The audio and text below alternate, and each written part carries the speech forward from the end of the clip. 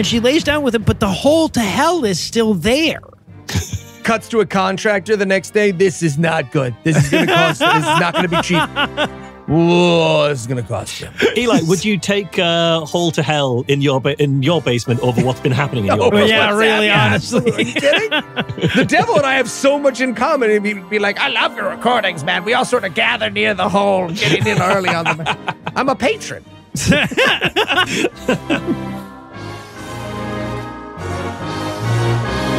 God awful movie. movie.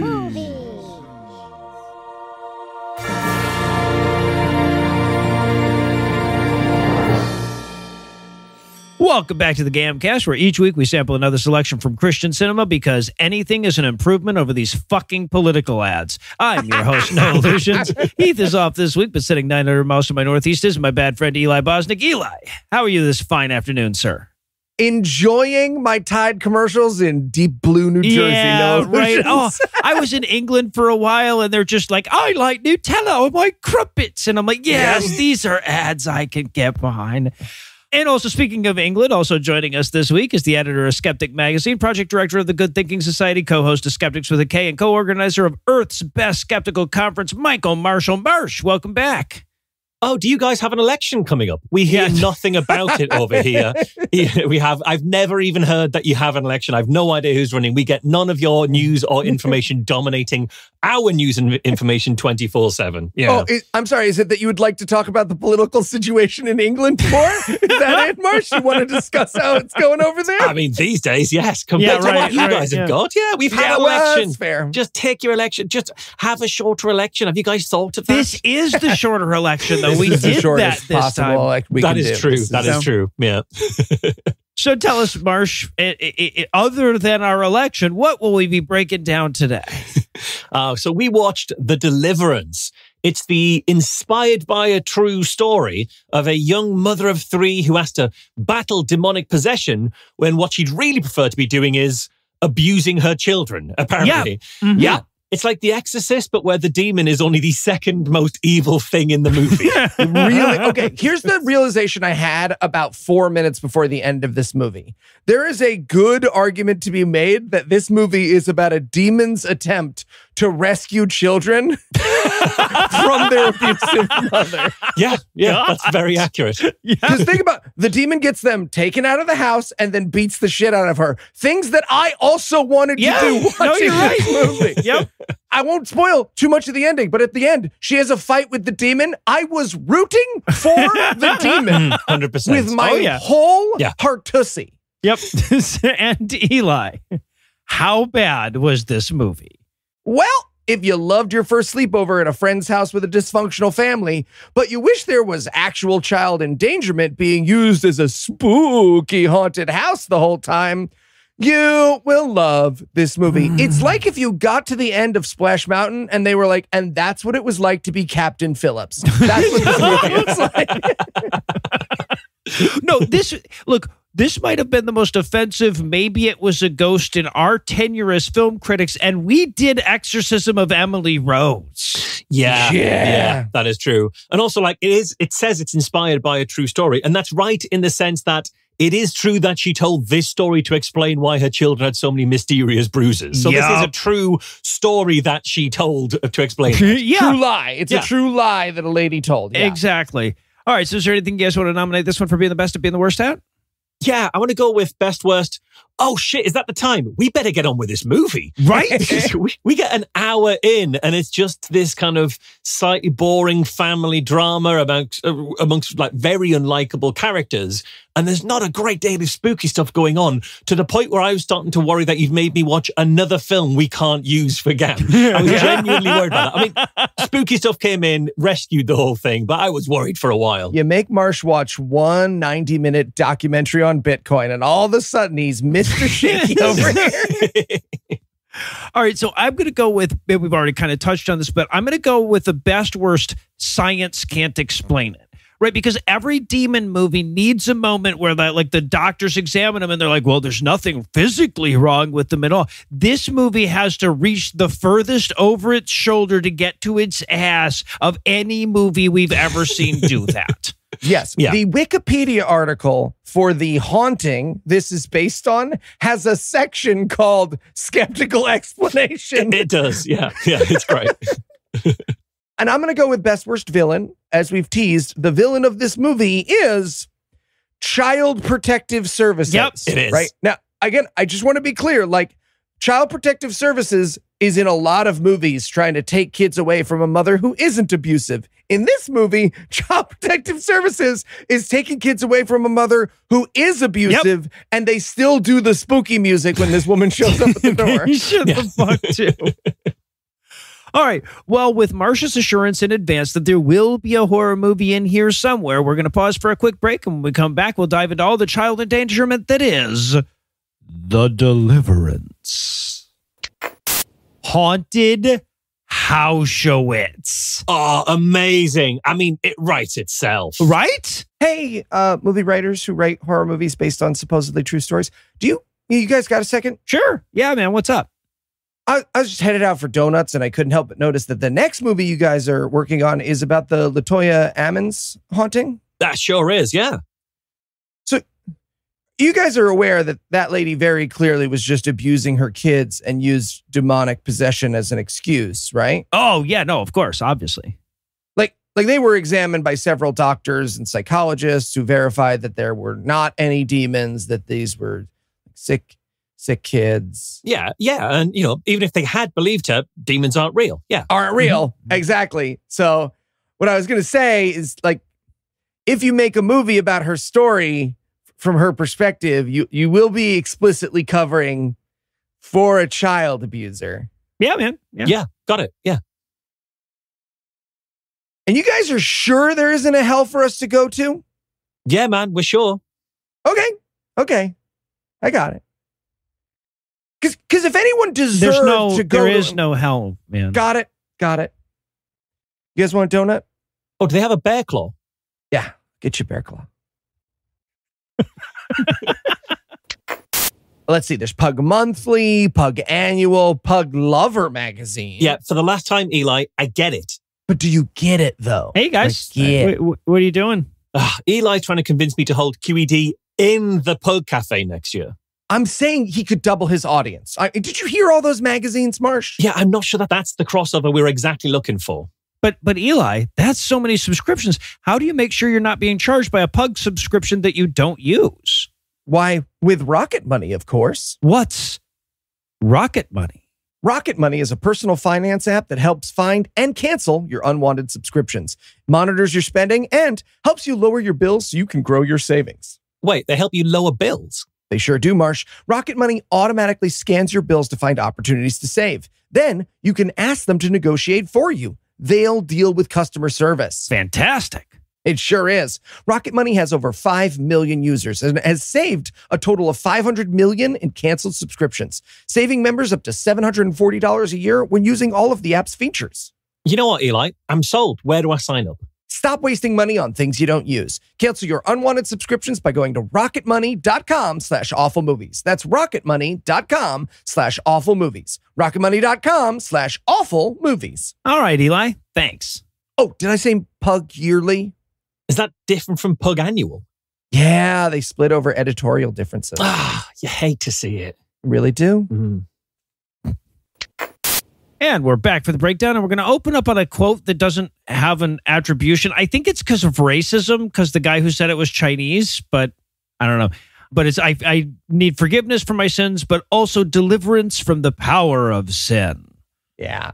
It was nice though, because you knew this was Jesus-y. This was not a doll situation. We're going full Jesus in this bad boy. Yeah. But also, that quote is kind of like, forgive me, but like, it totally wasn't my fault. If sin is so powerful, it's not, it's not on me. Right. And then uh, the next line that comes up on screen is, I need forgiveness for what I have done, but deliverance from what I am. And I wrote the Eli Bosnick story.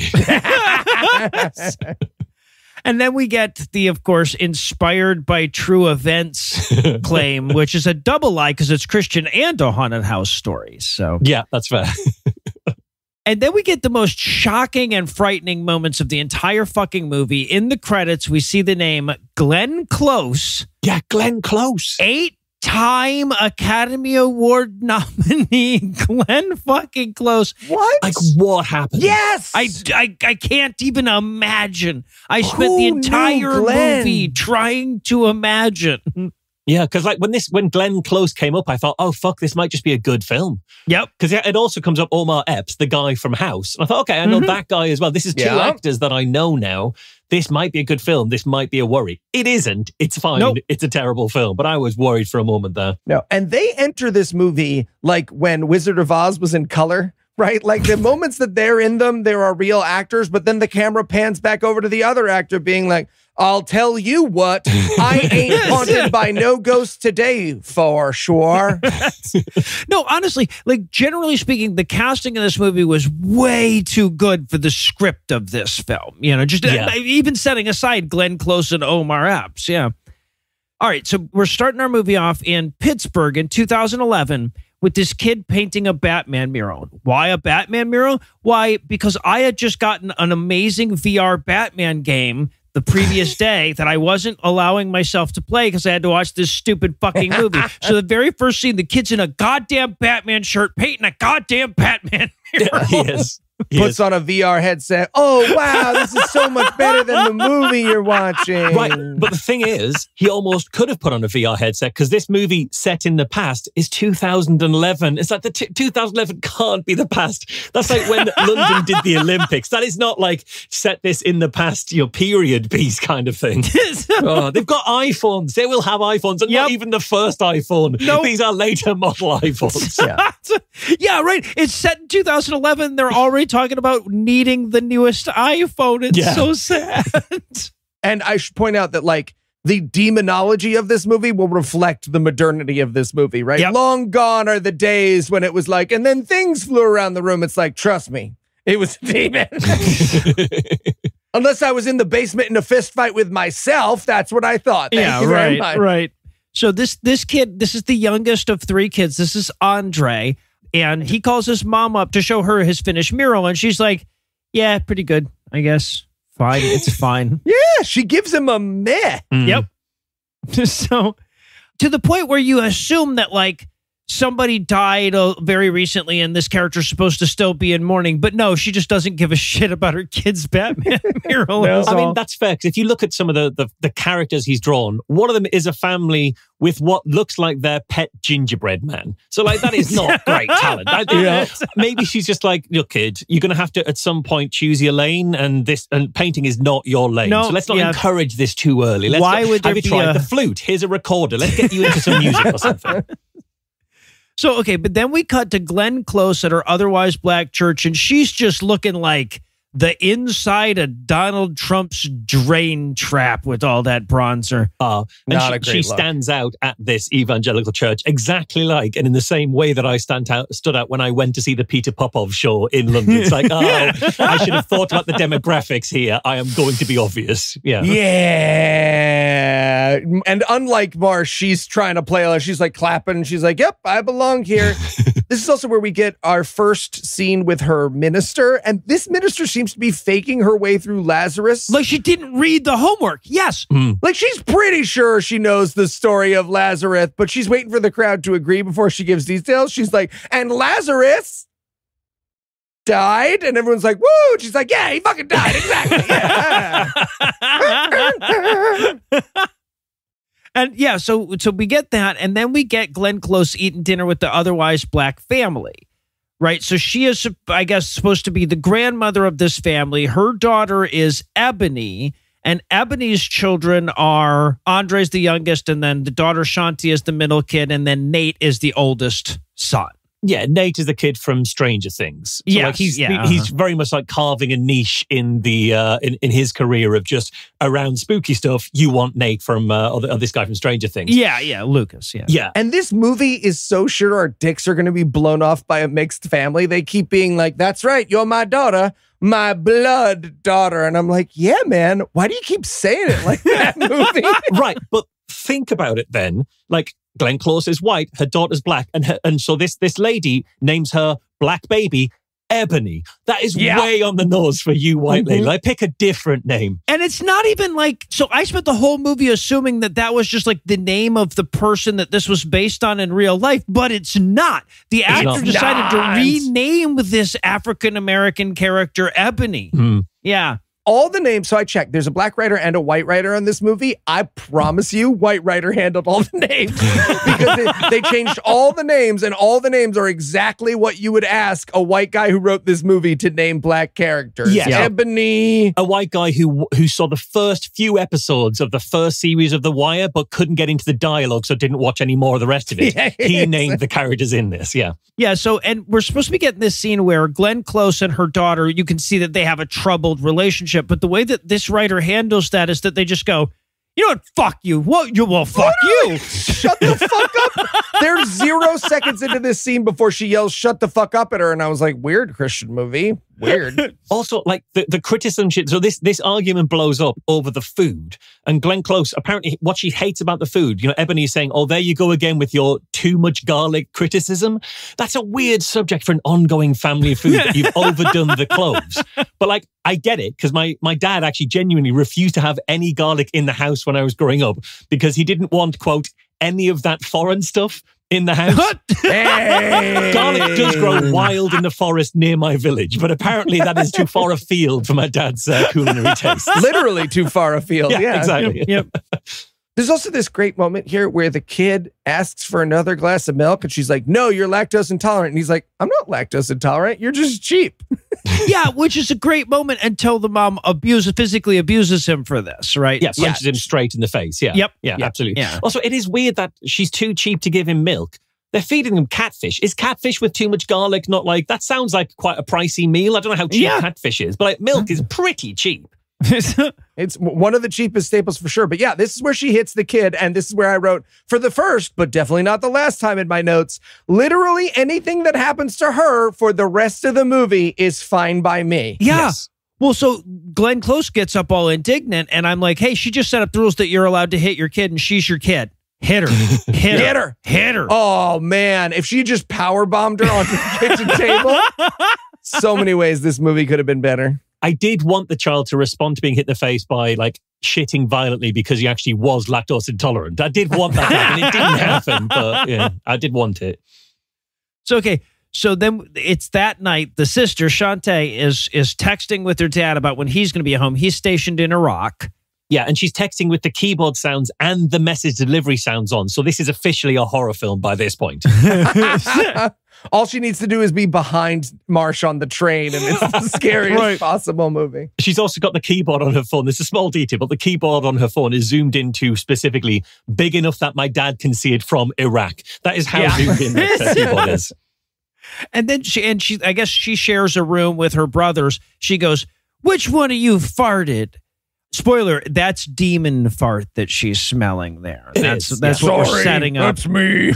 But we don't know that at this point. So it's just weird that this scene kind of comes to an end with the kids apparently having farted so badly that like loads of flies are attracted. And I thought that is, before I knew that this was leading to demon, that's a very weird detail that it's like they just fart and then attract flies is kind of what these kids have got going on. Yes. Yeah. And well, look, guys, as long as the movie doesn't later explain why there would be flies and a bad smell in this house, I think we can all agree this is very demony and scary. Very demonic. Yeah. No, that's how the scene goes. We we hear her go, who farted? And then we see mom downstairs adding up bills with a calculator, like you do. Christian in a movie. Christian film. Yeah. Yep, mhm. Yep. Exactly. And there are flies buzzing all over the place. And we're like, wow, that was an Eli level fart. but of course, we also know that like buzzing flies fuck specifically with Eli's misophonia. So this movie was like revenge against Eli, like by himself, right? Eli Oh my God, it was the avenging wor- himself. And they did it constantly throughout the movie. Every time I would put my headphones back in and stop listening, like just use my computer speakers, they'd be like, "Oh, look, the flies are back! They're in your ears." Is that my daughter in there? But Yeah. it is, it's so loud. But like she just looks up and then suddenly notices. But did she not notice there were like a thousand flies just knocking around her spooky basement? Did she only just spotted this? Yeah. There's an entire plague of flies and they're coming from the basement. And I had the early theory that the dad was dead and rotting in the basement, and all of the texts Oh. that the daughter was receiving were from his ghost. I thought that's where we're going to go with this. It isn't. That would have been a good a good move. so, So much much, better. better. Yeah. Yeah, well, and so mom sees that there are a bunch of flies, like a corpse level of flies, and she just closes the basement door. She's She like, does, yeah. I don't want to deal with a corpse right now. I got bills to pay. Out of sight, out of mind. Very much so.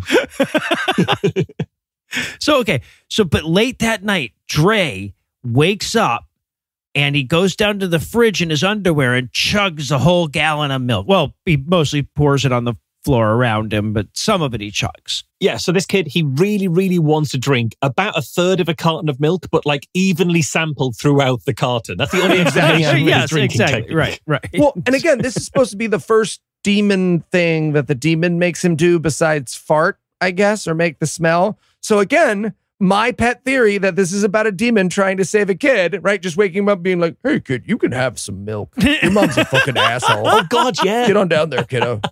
I'm gonna I'm gonna beat your mom up at the end of the movie. yeah, Eli's gonna give me a standing ovation. Yeah, while- right, while I right, beat your exactly. mom up in- You just wanted like at the end of this scene while he, he finishes drinking the milk, and you see his hair tussle a little bit, and it's the demon. Yeah, like, yeah, exactly. go on, kid. All right. Two stories and then bedtime. Okay, two. That's two. But then he goes downstairs, it goes outside, and he stares a bird to death. Yeah, or he sees a dead bird, which would be even less climactic. Yeah. Yeah, because like the bird smashes into the window, I think, for some reason, but we don't know why. oh, is that? Yeah, he looks like he doesn't even blink when we see like the bird smash into the window and crack the window. It actually even cracks the window. That Oh, doesn't I come back that. in any way, and I don't think the window's cracked at any other point in this film. I actually know why that bird is there. It's part of Child Bird Detective Service. What? That's not even the pro and bird. Are, Bird Detective. I don't. People are rolling at home, guys. no, they're not. Don't I cut don't- that. I, I Trust cut. I- Oh, I they're think was- they're wiping tears from their eyes. Yeah. They're oh. okay. So If you want your Child Protective Services T-shirt, You go to don't. Child Protective don't. So okay. So the next day, Ebony, we're going to ignore, by the way, not just the dead bird and the crack in the window and everything, but also the milk. Right? Nobody's ever going to respond to the fact that there's not milk or that there's milk poured all over the fucking floor. All over the floor, like literally, like a liter of milk all over the floor. No wonder there's flies all over this house. Yes. If there's just milk being poured all over the kitchen floor and nobody does anything about it. Well, you know what? Later we're going to do that same thing, but with a dead body in this movie. So I guess the milk is not the.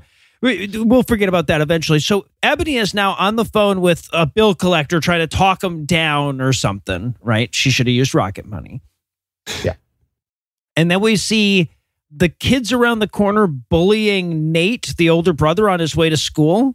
This is completely irrelevant to the larger story as well. It will not come back. Yeah, no. anyway. It, the only reason it's worth mentioning is because later in this scene, she goes and kicks that guy in the nuts. yeah, that is uh, true. Yeah, yeah. the only nice thing she does for her children in the movie, and it's just a chance to be violent. Yeah, she just just likes hitting. kick another child in the nuts. Yeah. So, but while she's cleaning the house up and, and talking to the person who's trying to repossess her car, she finds a bottle of vodka and a wad of money in Nate's closet. Right. And the way she finds it is weird because she's trying to hang shirts on the rail in the closet, but when she tries to put one on, she can't get the shirt to go onto the rail. She like the ra- the the, the Yeah. hanger doesn't go over the rails. It's like, is the bottle of vodka stopping the shirt going on the rail? Like the fact I- that there's a bottle of vodka on the shelf, like Yeah. two three feet below. Yeah, yeah, So, but she she finds it. She goes downstairs to confront Nate as he's getting home from school about it. But this is where she realizes that the bullies are picking on him. And she's like, hey, hitting my kids is my thing. Yeah, right. Exactly. I'm the only one who's allowed to beat up my kids. Damn it. So she goes and kicks that kid in the nuts. yeah. She does go and just hit another child. It is a different child that she hits. Yes, like yeah. most of her her character work is hit is which child she's hitting at which point. Yeah. Uh, so she kicks that kid in the nuts, talks some shit to him. The kick in the nuts. Did we all did we all cheer when you kicked him in the nuts? Because the thing Oh, is, absolutely. yeah, Yeah. she kicks him in the balls so hard, even the soundtrack felt it because the, the music stopped dead at the point of impact. Like, Yes, the, like uh-huh. the guy playing the uh, the violin in the background's gone, oh, Oh, she got you there. So yeah, so she, then she goes back and Glenn Close tells her she's being a very bad mother, and I'm like, that's the best mothering she's done so far in the movie, though, right there. Yeah. She's like, you were a bad mom. And it's like, that actually doesn't preclude you from being a bad mom. Like, I'm Right. sure your mom was a bad mom because you're you, but that also, that you can stop being a bad mom. Mhm. Doesn't excuse your bad mommery. Yeah. But Ebony tells Glenn that her Christianity is bullshit, real quick. That she'll do that a few more times before it's over. And then Mm. Ebony goes out back for a joint. Now, Dre, the younger son, is he's demon chanting to an invisible friend, and it takes mom way too long to acknowledge this. yeah. Oh yeah, yeah. It, it, in, but in fact, we hear the flies sound effect at the same time, which makes it seem like the kid is just having a chat with some flies. Like the flies have like moved in.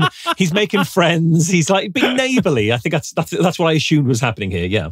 Flyled protective service. Okay, That's slightly better. That is wait, that's better. closer. We're getting We'll, there. iterate, we'll iterate our way into a pun. Yeah. So- I'll have a joke by the end of this podcast yet, damn it. So okay, so then we we cut to the family watching TV. Public domain movies is their favorite genre.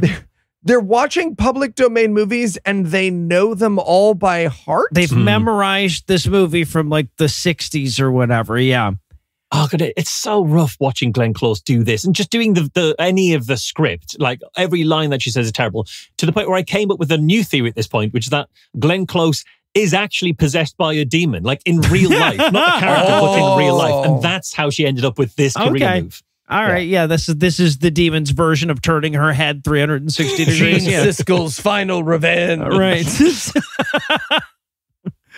so yeah, so they they do some lines from this movie, and this is where Ebony's like, "Hey, Shantae, maybe we can't afford to do your birthday this this year." And Shantae yells at her for being poor and, and goes upstairs.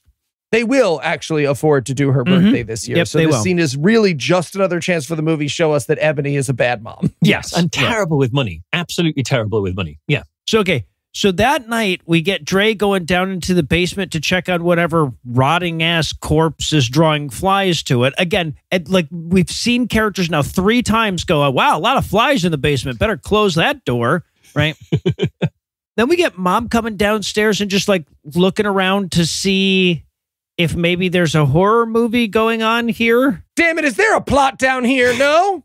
She's All right. strafing around the house like she's in a first person shooter. At some point, she's like moving sideways. It's, Yes. it's a very odd way of getting around. Yeah. Corner peaks. But also, so there's a moment here where she's like, the basement door is open, but it was closed just a moment ago, and we're like, really? Is that what we're?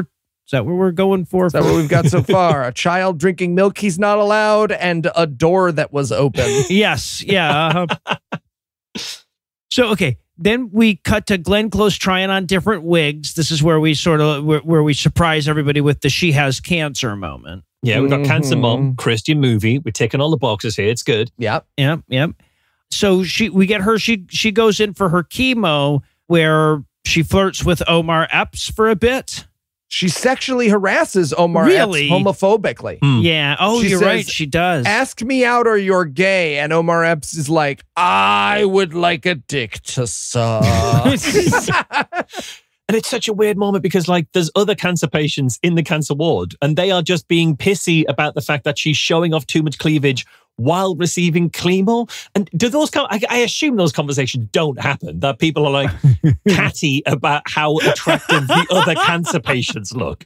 oh, God. I love Marsh that you accidentally said clemo, which is like the cleavage version of chemo. Clemo, yeah. That's what she gets.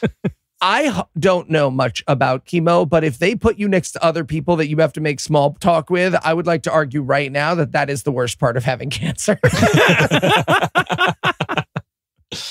So yeah, so she goes to leave after she gets a date with Omar Epps, and they stop her to tell her she's behind on her chemo payments. And I'm like, yeah, Marsh, this is how it works. They repo the chemo. This is the scariest bit of this fucking movie that you're gonna see: the American healthcare system. Oh yeah, absolutely for sure. But we don't even get a good, like, accurate representation of the American healthcare system because it turns out she's off her insurance, and the daughter's been paying, I get out of pocket for chemo, and we find out her daughter works at a salon, just a just like a Yeah. perfectly good job, but it's not pay out of pocket for chemotherapy levels Nope. of work. I don't imagine. Sure, the fuck isn't. Yeah. Well, and, and she like as she's going out, she's like, "Oh, it must be the Medicare." They're like, "Oh, we don't take Medicare. It's been your daughter that's been paying for it." And I'm like, instead of using Medicare, that's this is just dumb. Like, I'm sorry. Like, I know she likes this chemo, but unless you've got the money to do it, that's just dumb. This one's like six blocks closer to the house. You understand? That's why I have to deny my daughter a birthday party. Yes, right. So, okay. Then we see Ebony walking home late that night, and Glenn has to confront. Like, I, so now that we know that Glenn Close has cancer, she can look like it, right? Yes. Yeah. She can be dressed like she has cancer. She's dressing extra cancery as well, just to make the point at this point. Yeah. Yeah. And we've also established at this point that Ebony is an alcoholic.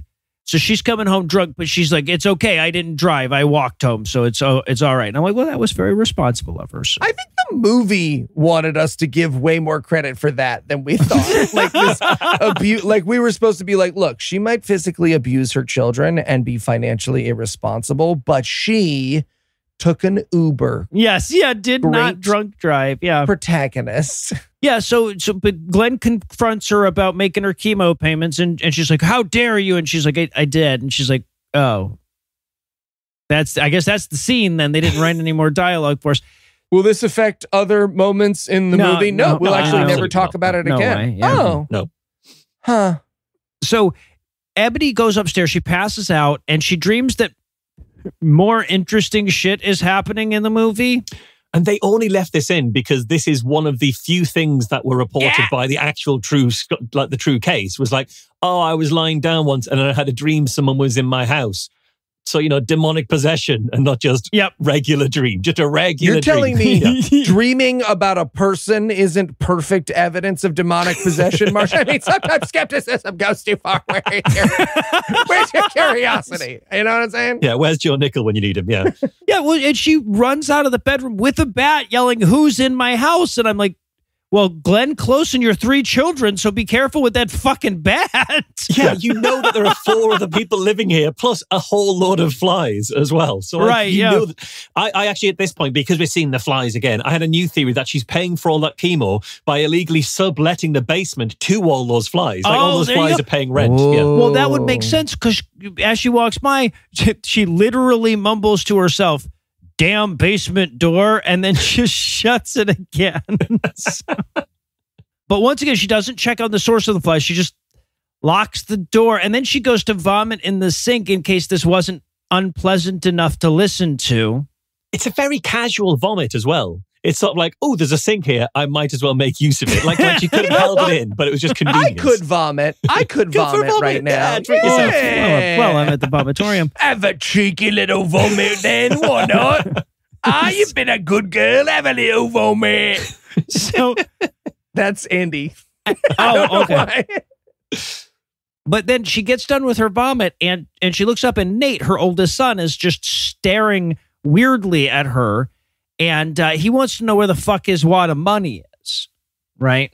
Right. So she's like, "Well, where'd you get money from?" And he's like, "I, I just, I had my dad sent it to me. Probably, we don't know. It doesn't fucking matter to the movie." And then she hits him. Again. Mm. He hits her back. Nice. Yeah. Then Dre runs in to help his brother, and he falls over and hits himself. Which I assume he slipped on a puddle of milk. Yes. Oh, Mhm. right, right, probably. And look, this is not intended to be a hilarious series of Rube Goldberg injuries, but that's what it is, though. It's it's what so it good. is. I right. wanted every single member of the cast to walk into that room and fall over. Like Glenn Close comes in, Yeah. Omar Epps comes in, just every single person. Just a big pile on the floor. Yeah. my cooking oil. yes. Each of the flies comes in and somehow falls over. Yeah. Meow, meow, meow. It's really hard to trip them. You've got six legs. You've got to trip Yes. each leg independently.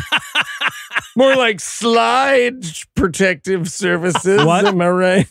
um, so But here's the other thing about all these scenes, right? All these scenes are very clearly this abusive mom's excuse Yes. that she later made up, right? Yeah. She hit her kids, right? She threw her kids around the kitchen. She deserves the death penalty. And now these movie makers are making it like part of their spooktacular. I can't emphasize enough how much I dislike that. yeah. Yeah. no, it's straight up fucking evil. Yeah, it really is.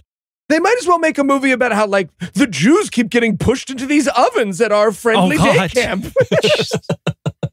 But yeah, but so then we get the next scene where she gives Nate his money back. Apparently, she did just steal her kid's fucking money. Yeah. Yeah. She puts it in his bedside drawer. His drawer, uh, I, I counted, his drawer contains nine Crayola crayons and a condom. That is mixed messages, if ever I've seen. so For you, maybe. Right, but but this is supposed to be a redeeming moment from her for her. Like, right, she's got all these bills, but even then, she didn't steal any of her kids' money. Okay, Yeah. She comes in, she apologizes for being an abusive alcoholic. So you know she's trying. Yeah, almost in those words as well. The dialogue is so bad in this entire thing. The, the entire drama here feels so reductive. It, it feels like they took inspiration from American fiction, but only from the fake book that Monk publishes as a satire on the Black experience. Exactly. Oh, Yes. that's what we're watching. We're watching the film adaptation of adaptation that book. of Yeah, his yeah, book. absolutely. Yes. Yeah. Mhm. Tyler Perry passed on this one.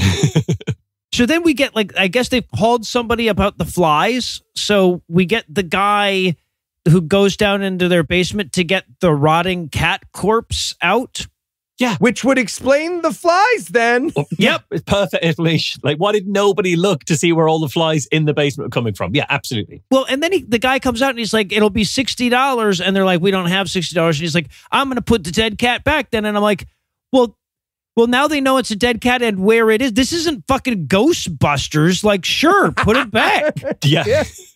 like they, they should just follow him in as he Right. puts it. As soon as they put it on the floor, they just pick it straight back up again. Yeah, it's just like I Damn got a trash bag Shit, here. now I owe you $60. but mom doesn't have the money. Nate's like, well, you don't put the dead cat back there. I'll give you sixty dollars out of my wad of money. And just as he's getting the money for the for the guy, who should pull up outside but Mo'Nique?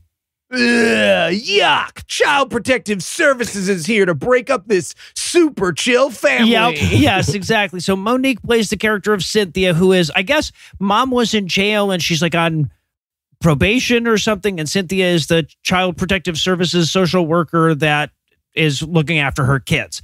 And we learn in this scene that like mom moved without telling Cynthia where she was going. Yeah, I believe the court calls that fleeing. Yes, fleeing. exactly. Yeah. Right. But Glenn Close, like when when Cynthia comes in, like Glenn Close bows up like she's gonna kick Mo'Nique's ass, right? But she storms out. All the kids come in, and then this is where we we have the first of several. Hey, would you like to explain all these bruises on your children? Moments of the movie. Which is such a weird thing because, like, are we meant to think? Because she she tries to say, "Oh, I don't know where this came from. These came from somewhere else, and this was school." But like, we have seen her beating her kids. We've Are we- seen you hit Yes. your kids. Are we meant to think like, oh, she's telling the truth, but it looks bad? Because like we saw you doing each of these things. You punched your kid in the face at one point. Yeah, the movie doesn't want us to sympathize with child protective services. Right? What they want us to do is watch this scene and go, well, child protective services isn't giving this actually abusive parent nearly enough credit for the hitting she's not doing. Well, but I don't know that they are okay because because like if that's what they wanted to do, then they could show these kids getting these injuries. Yeah. But we don't we don't know what they are, right? Like so the the the Cynthia turns to Shantae and goes, Hey, what are all those bruises on your arm? And we look and it looks like, you know, somebody's grabbed her by the arm really hard. But we never saw that happen. Yeah, I have no idea what those were. Which, which, it, if they're setting up that that was a demon, show that. Yes. Or if they're setting up that it's the mum, show that. But it's it's a mystery to us, and we're meant to be the ones who actually are sympathetic here. Yeah, it's Right. awful filmmaking. this is how desperate this movie is to make the CPS lady look bad. At one point, they do this long, lingering shot of her putting her feet up on the furniture, like we're supposed to be like pretty rude, huh? Yes. right. Really? Shoes on the couch Yeah. while you're trying to protect these children? Isn't it a reclining chair as well, though? It is a It's- recliner, It is like yeah, it's, it's not Glenn e- Close's reclining chair. Like Yep. that, that is what that chair is meant to It be. is. it's not even feet on the bed. Yeah, it's Yeah. not even shoes on the bed level rude. Because again, while this woman was being interviewed or whatever for this movie, and she was like, "Oh, and you know another thing that was rude about Child Protective Services when they were stopping me from abusing my kids? She put her feet up. Yep. Yep. Like she lived there. Come Yeah. on, guest." So yeah, but so she's asking about the bruises and why is Andre all hunched over like somebody hit him in the stomach last night? She's like, as he slipped on a fly and some milk. It was a we saw it was a Rube Goldberg thing, And then Cynthia goes to leave, and there's some lady that we've never met, like a parked across the street staring at them. She'll be important or something. She'll make sure this is a horror movie, damn it. Yeah, like I swear there's a horror movie in this shit somewhere, but I'll be damned if we're going to find it before we take our first break because we're already there and not a goddamn thing has happened. But maybe something will happen when we return for even more of The Deliverance. Okay, uh, what about this then? Nah, I think he's got one of those. Hey guys, what you doing? Oh, hey, Noah, we were just setting up to do our holiday shopping, but all these gift websites are kind of samey. Yeah, it all feels like just cheap plastic crap, really. Yeah, or drop shipped cheap plastic crap. Yeah. I kind of wish there was a website where you could get like, you know, homemade and unique gifts from an actual person, not a company. Well, why don't you try Uncommon Goods? You mean like body parts of dead celebrity? No, I don't mean that. This is their first ad on the show. That's not what I mean. When you shop at Uncommon Goods, you're supporting artists and small independent businesses. Many of their handcrafted products are made in small batches, so shop now before they sell out this holiday season. Uncommon Goods looks for products that are high quality, unique, and often handmade or made in the U.S. They have the most meaningful, out of the ordinary gifts anywhere. They even have gifts you can personalize. Wow, amazing. It sure is, Marsh. And with every purchase you make at Uncommon Goods, they'll give $1 back to a nonprofit partner of your choice. They've donated more than $3 million to date. So wait, I can support independent businesses while doing good for my favorite charities? What's next? 15% off? To get 15% off your next gift, go to uncommongoods.com slash awful. That's uncommongoods.com slash awful for 15% off. Don't miss out on this limited time offer. Uncommon Goods. We're all out of the ordinary. Especially those of us who collect celebrity toes. So, first and last ad, then, yeah? Yeah, probably. For rebelling against heaven, Lucifer, I cast you down to hell. Oh no! I'm gonna burn in fire forever. What a terrible punishment. Oh, no, no, you, you won't, you won't, no. sorry, sorry, what now? Yeah, no, you're not gonna burn. You're mostly gonna you know, trick humans and then you burn them. Oh, okay, but but I but I won't be able to because I no longer have my angelic powers. So I'll spend eternity wishing I could take my. you're, you're still gonna have your powers. Really? I'm I'm keeping my powers. Oh, yeah. Well, no, in fact, actually, you get a whole bunch of new demon powers, right? Uh, possession, uh, flies, yeah, moving stuff around. So I will have more powers than when I was an angel. Oh, yeah. No, angels are just going to mostly sit up here and, you know, watch you do your thing. Because you'd think they'd like intervene more, right? Like there'd be like blessed houses where good things happen to No, people. you would think that, but no. Uh, just, uh, uh, just the bad stuff. Huh. Okay. Well, look, hey, at least you're still in control of Earth, right? So I'm gonna have No. to scrap for No, actually, only at the at the very end I'll be. con- Otherwise, it's going to be all you, my guy. Okay. Well then, thank you. Yep. Thanks. Yeah, I guess. Thanks. See ya. See, yeah, see you. Teach him to rebel. And we're back for more of the shit. We're going to rejoin the action with that birthday party that we've all been looking forward to. This is one of the two scenes with Omar Epps in it. He's there to sing for Glenn Close. Yeah. And I have to point out that this was such a wild tone shift scene to scene. Mhm. Like I know we took a little break in the middle of it, but I do have to point out that like they go from this tense moment of like child services leaving the house to happy birthday Yeah. They do. you." Oh, It's also it's doing that annoying thing where some of the people singing ha- "Happy Birthday" see that as their moment to shine, so they're Yeah. all doing their own little kind of uh, like harmonizing here or riffs. Yeah, the fucking yeah, riffing on it. Yeah, it's terrible. Also, it's one of those like kids' birthday parties that happens seemingly at night in the pitch black, because this is like the dead of night that this seemed to be happening. And it's on a weekday, right? Because like immediately after they sing happy birthday, she starts sending the kids to bed, telling them they got school tomorrow. It's like it's Shantae's fucking birthday party. Yeah. Like you've just blown the candles out. She hasn't even had the cake, and now she's off to bed. yeah. Also, well, this ca- there's a character who appears in this scene that never appears in the rest of the movie. Does she intimate that she jerks people off for a living? I so that's what I got from it. So let me say something that I am very uncomfortable saying. They're playing craps at this child's birthday party. Yes. Well, they're playing dice. Anyway. And when she wins, right, the older brother, Nate, is like, Hey, how do you keep winning? And she makes the jerk off gesture and she's like, Honey, don't you know what I do for a living? And says something about her, her hands. It makes her hands slippery or something. Yeah. Does that make you better at craps jerking people Well, I off? don't know because Am I amazing at craps? no, because like later she says to the mum that when she's leaving, she says, I've got a job to get to, which is sex that opens at 9 a.m. And I had to go back and put the subtitles on, and she says sax. S A K Like S. Saks Fifth. yes, Sex yes. Fifth Avenue, uh-huh. yeah. Well, I don't know what is that. What is that? And how does that? Jerks people off at Saks. It's like Woolworths. Oh, okay. I I, I had Yeah. no idea what sex was. I was I- the only thing I could be comfortable with is that it, it wasn't sex, or at least wasn't called sex. That's all I had. Yeah. Yeah. So she apparently jerks people off at a at a department store for a living, and that makes her good at craps. I don't.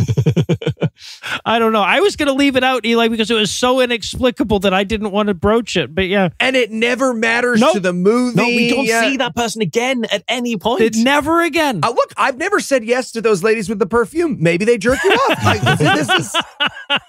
I got to look around my local Saks and see if Yeah, there's a so getting no jerked shit. off section.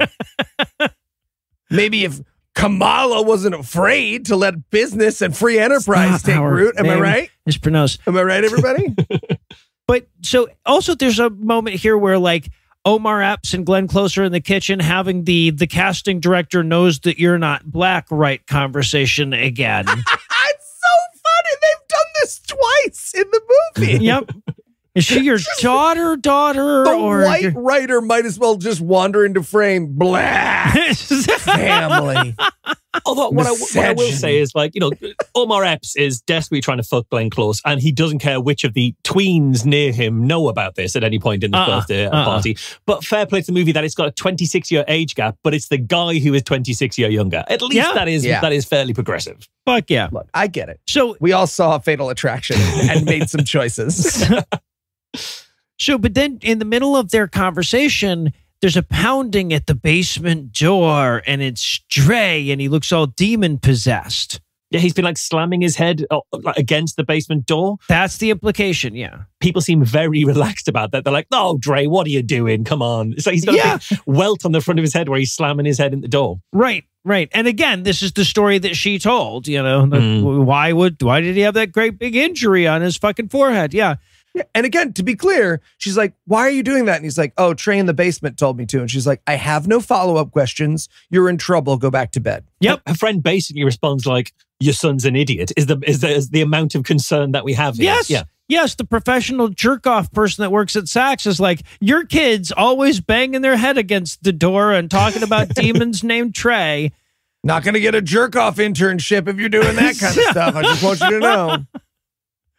So, but then the kids all go to bed. Mom drinks too much, and we have the whole like, you know, she she wants to party, but everybody else is like, I've got a job at Sex to go to tomorrow. Yeah. you know. And it's like now is her chance to get vodka wasted and grind on guys at your child's birthday party when Yeah. you've gone to bed. And there's always nobody there. Really wanted it to cut over to like two tweens being like, Your mom and my dad seem to be getting along.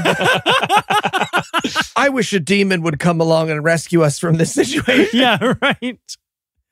Uh, but then Andre's standing around in the house after everybody leaves, looking creepy and stuff. So she yells at him for being mentally ill while she's trying to party more. And that's that scene. Okay, so That's that scene. so then it's that night. She's in bed when the demon starts banging on the door some more. So so she responds by running into her kid's room with a baseball bat. Right. This is three out of three nights in a row. She has burst out of her room ready to fight a noise in her house. Yep, with Yeah. a baseball bat. Yeah. And it's so weird because she's like she's running around doing this, and, it, and we we were meant to think that this is like oh god the house all abandoned, but it's not abandoned because we see Omar Epps is leaving, like having just left the house now in the middle of the night. So we're supposed to have assumed that they've just he's just been fucking Glenn Close this entire time throughout the end of the uh, enough for Ebony to go to sleep and wake up again. Yes, right, right. Uh-huh. And that's clearly what the banging was, right? That was it is absolutely.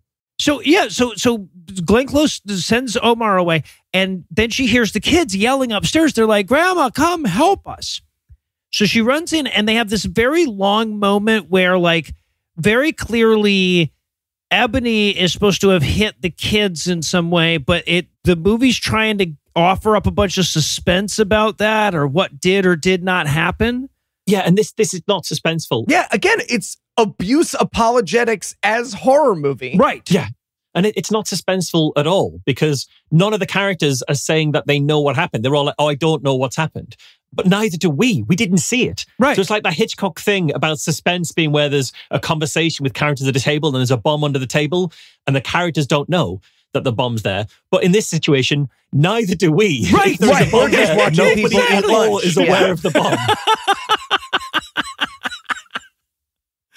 Right. So, like, we spent a very long time with Glenn Close going, So, uh, Nate, what happened? And he's like, I don't know. And Shantae, what happened? I don't know. And Andre, what happened? I don't know. We get that for a while, but the Batman mural is all smashed up and the kids are all beat up, is what we do know. Right. Right. Hmm. So, trust us, something interesting happened, but we don't know what it was. So, next day, Granny's driving them somewhere because she's decided they're not safe around the, the mom. And mystery lady that was sitting in her car staring at them when they were arguing with the Child Protective Services lady. Sorry, I'm doing a very bad job of keeping you up with these characters. This character, her name is Apostle Bernice. She is following them as Granny's driving them away. Yes, and Right. this is a sinister moment, but the sinister thing here is just a black person driving. Like, who wrote this film? A white cop? So okay, so now we've got to have the moment where the kids the kids are all in school and they all start acting demon crazy at the same time. Right. But again, there's nothing supernatural about it. They're just abused children acting out in school. Like Yes. even here in the movie about their behavior, this is the behavior of traumatized, abused children. Yes. It absolutely is, yes. yeah, so Nate is learning about the racism of our national response to AIDS and he starts laughing very inappropriately. He got the giggles in school. So wait, the demon was going down his list. He was like, "All right, let's see. Uh, this, this guy's gonna float in the air. That guy over there, he's gonna pass through walls, and I'll, I'll say a bunch of stuff about dead relatives. And uh, let's just give Nate the giggles. What do you Yes. say, huh? Nate'll, uh, as long as it's at a super inappropriate time. yeah, Very inappropriate inappropriate. part of the Like history. really of this. Yeah, inappropriate we don't, we giggles, don't yeah. want it to Yeah, be. yeah, obviously. In- inconvenience, yeah. Shantae's demonic thing is uh, menstruating all over the place apparently. Having a period. Yep. and Andre t- takes his shit in the middle of his classroom and throws it at the teacher and then eats some. Yeah. Is what he does. Mm. The, D- the- I feel like Nate got it off, off easy here. Oh, all I'm yeah, 100%. Yeah, absolutely. Yeah. Also, that didn't happen in the real story, at least according to the Wikipedia. So weird to make that up, seeing as Andre is now 21 years old. Yeah, right. Andre's going to see it with his family. He's just constantly turning to everyone in the theater. That's made up. They did that for the movie. Everyone, um, I, I didn't. We don't see, we see him like shit and then throw it at his teacher. Later, we found out that he ate it. So we didn't see that. So they didn't even need to like force us to hear that he ate it. They didn't have to include that detail at all, given that it wasn't made, it wasn't true, and we didn't see it happen. right. Well, my guess is that the writer assumed that we were going to see that awesome pet part where the kid ate his poop, and then the the the the MPAA was like, "No, you're not going to Right, say it's okay, not yeah, going to happen." Yeah. So yeah, so then we get we cut to Ebony at work getting a very awkward call from the school. Yeah, and this is this is a phone call from an unknown caller, which is so far the scariest thing in this movie. so so okay so she goes to the hospital and like all we see all the kids getting various medical examinations. And this is where we get my best worst, right? The doctor turns to her and she's like, Well, you know, we ran all the tests. Your kids are fine. They have no psychological issues whatsoever. If there's a problem, it can only be supernatural, right? Because they have to have this. They have to have this moment where science can't explain it. But like, science can't explain it. The children are terribly abused and they're acting out in a, in a, in a, in a way that's very predictable when you suffer that level of abuse, right? But the movie can't just point that out because it kind of ruins the fucking movie. Right. Yeah, exactly. The scientific explanation is that like one of the kids got the giggles at an inappropriate time. The other of kids who lives in poverty came on her period at a time that she wasn't expecting and wasn't prepared for, and her other kid and the and the third kid threw his shit around, which is bad. But like having a shit is not supernatural. Throwing it is weird, but also not supernatural. Nope. You don't need to be ghost infused to throw shit. at someone. It's just so- Oh, sure. Now you say a shit's not supernatural. But during Matreon, you're all bar the doors and where's the holy water? I'm just saying. One side of your mouth and the other. So yeah, so but science tells her this seems like a very ordinary poop throwing to me.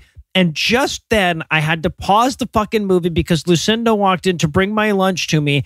And what she's staring at is Glenn Close with her fucking Donald Trump bronzer with 37 crosses in each earring with a subtitle that reads, and I quote, Doctor, my son ate his own shit today. Yeah. So that was that was a fun one to explain. Ah, And I- love that the doctors send them home from this as well. I'm 99% sure that if your son spontaneously ate his own shit in the middle of a lesson, the doctors wouldn't take a wait and see kind of approach. Just send them home. Also, like she gets incredibly confrontational with this doctor, and the doctor's like, "Oh, oh, you you want to have like a serious talk about your kid's health? Should we talk about their bruises?" And she's like, Pass. No. change of scene. Just Literally change of scene yes, right now. Yeah. Scene is over. and again, I truly do not know who the movie wanted me to sympathize with that moment. I know who I sympathized with. Yeah. Well, okay, so then they're leaving the hospital, and then Glenn Close has to like have it out with Ebony for being too violent with her kids, which plays out approximately like this. She says, Ebony, you're too violent. And Ebony says, I ought to kick your ass for saying that. Yes. this conversation ends with, and I apologize because it's wildly offensive, but it's you're just like all the other white people reporting on child abuse. Yes. yes. yep. Is that a thing other minorities dislike us for? Because I'm actually willing to own that Yep. one. Yeah. A lot of reasons to dislike white people. That's not one of the That's ones. not a good one. Yeah. So okay. So that night, Ebony's shampooing Dre's hair when the phone rings. Glenn Close can't get the an- can't answer because she's busy hanging up a demon ward crucifix. This just ridiculously oversized crucifix that she's hanging. Oh hanging god, up. it's so yeah, funny. it's ludicrous. So Ebony has to run and get the phone. It's the hospital telling her she owes thirty thousand dollars for all the shit throwing exams that that her kids just got. Which means she'll have to do a few more haircuts at this best paid salon of all time, apparently. Yeah. yeah, exactly. No kidding. But as she's like harumphing her way away, Glenn Close stops her and says, Hey, the Lord doesn't give you more than you can handle. Mm, yeah, says the lady with cancer whose medical treatments are driving her daughter into poverty right Yes. now. That is the plot Yeah. so far. Yeah. Yep. Also, really seems like the Lord is giving her more than she can handle. Glenn. Sure, Like, sure seems- fucking does. Yeah. She's certainly not handling it well. Well, and and so and she says, and I quote, enough with the Jesus bullshit for one night. And I like look, I hate to side with abusive mom, but that is the correct answer in this moment, right? It is, Right. but I think it's only like the second time she's mentioned Jesus in the entire film because she's not that religious at any point until now. Like the mum seems to, we saw her, she was at church Right. in like the first scene, and that's the last time she did anything Jesus-y until now. Yeah, true. So Ebony goes to try to take down the cross because, you know, it's her fucking house, but Granny Glenn ain't having none of that shit. Oh, it's great. Ebony says to her, "This is a fix, man." It's like, no, it's it's a crucifix. You're almost there. It's close. Maybe that's what they call it. The kids is that slang? Fix. Yeah. Here's my fix. So, but Ebony, Ebony goes back up to the bathroom to finish shampooing Dre's hair, and she finds Nate drowning Dre in the bathtub because he's demon possessed. Again, another thing that didn't happen in the real story. I just, Hmm. I'm picturing this family standing. Okay, hi everyone. I did not tried to drown my brother, my mom's. Really, really carried away my mom's lies here. I just say, you know, it's weird to be like, oh, don't tell lies about my mom's lies, but I did not try to murder my brother.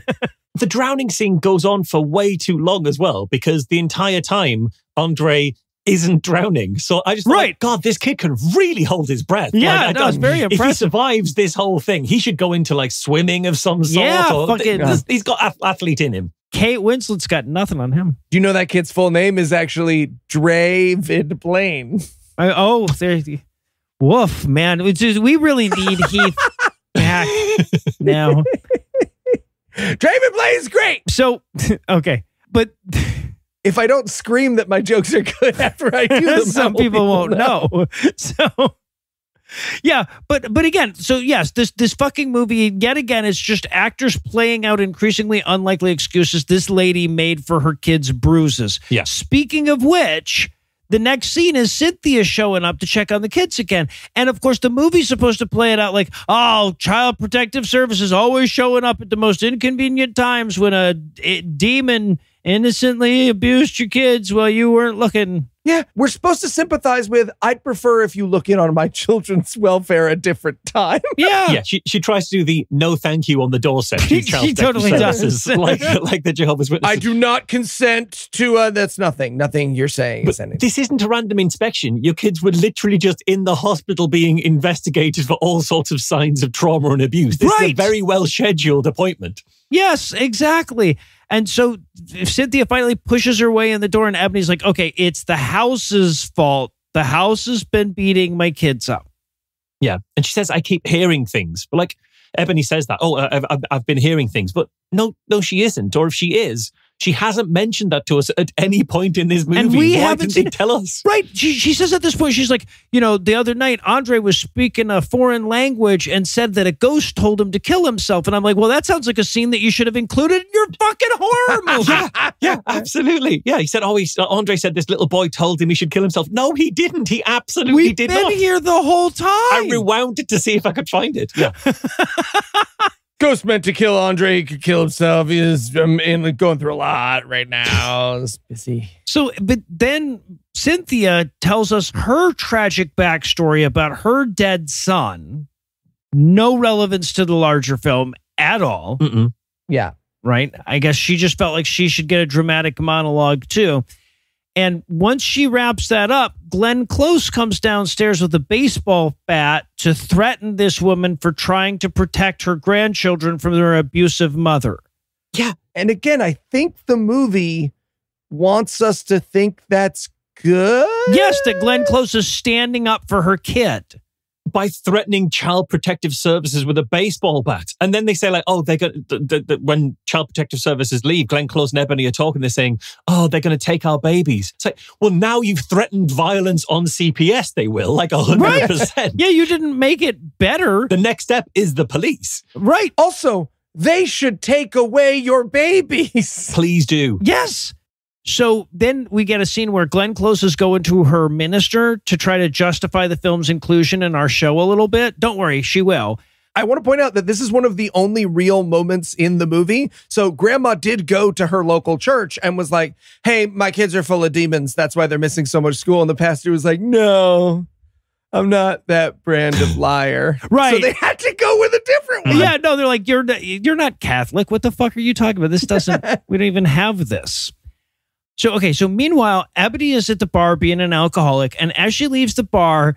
uh, Fucking Apostle Bernice, the character that has just been like sitting in a car across the way, staring ominously at them here and there. She finally confronts Ebony and says, It's time for me to make sense.